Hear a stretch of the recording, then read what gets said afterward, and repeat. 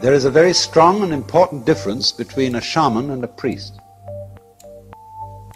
A priest receives his ordination from his superiors.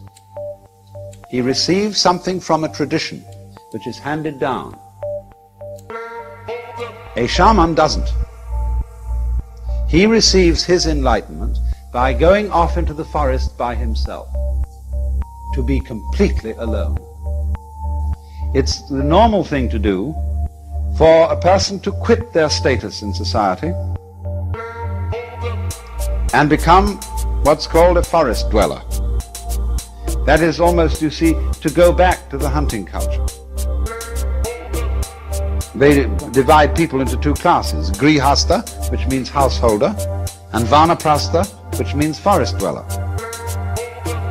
And the older people all hand over their occupations and positions to their children and enter the stage of vanaprastha or become a shramana and go outside the stockade.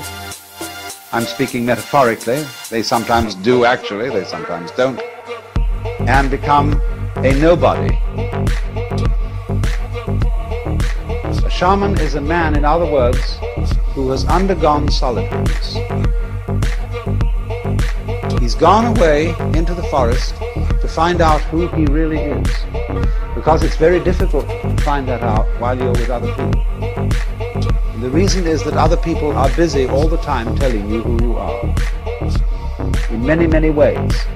By the laws they impose on you, by the behavior ruts they set on you, by the things they tell you, by the fact that they always call you by your name, and by the fact that when you live among people you have to be in a state of ceaseless chatter.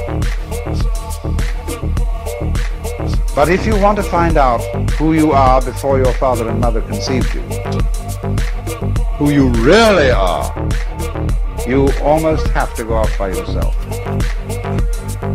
Go into the forest and stop talking, even stop thinking words, and be absolutely alone. Listen to the great silences. And then, if you're lucky, you recover from the illusion